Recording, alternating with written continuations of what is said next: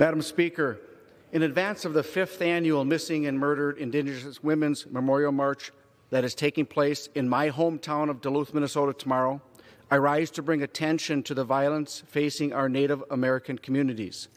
Everyone has a right to live safely in their communities, but the murder rate of Native American women is currently 10 times the national average. More than half of Native American women have been sexually assaulted, and thousands of Native American women and girls have gone missing. This national crisis has been ignored for far too long, and it is time that Congress acts.